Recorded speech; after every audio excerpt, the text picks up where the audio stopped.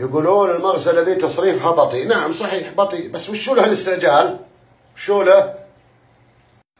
عموما هذه لي التصريف فيه كتل أوساخ شنو بوصل له الحين؟ ما لا تحسس وتلمس.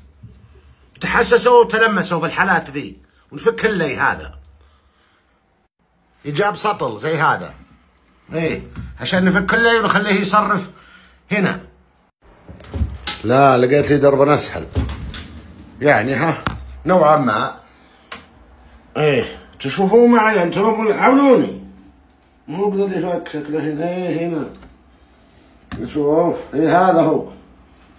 نفكه وطرف هذاك نمعطه ونحطه في هالسطيل تطلع الكتل الأوساخ. يتم فكه يدويا ما يحتاج أي شيء يسوى.